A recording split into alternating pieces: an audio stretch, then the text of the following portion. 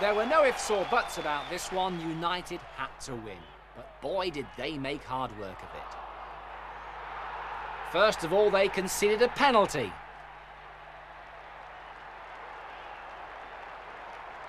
Bit harsh, but when Gray's kick hit the back of the net after just three minutes, it looked a killer.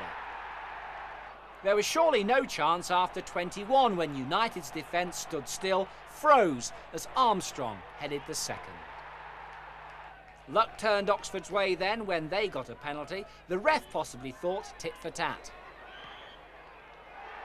And Paul Moody fired the team up for the second half. The equaliser came from what footballers regard as route one to goal. But the finish was something special. Moody, the man again.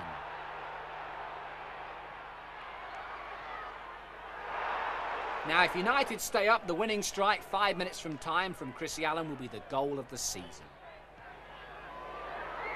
See what I mean?